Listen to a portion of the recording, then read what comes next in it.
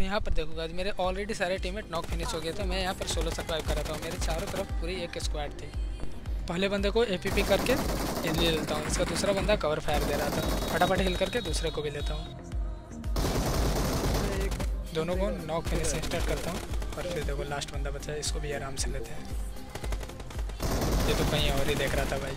यहाँ तो क्लच हो गया, लेकिन मैं भी थर्ड पार्टी होता हूँ। वीडियो आपको यहाँ तक अच्छा लगा तो प्लीज़ लाइक सब्सक्राइब कर देना।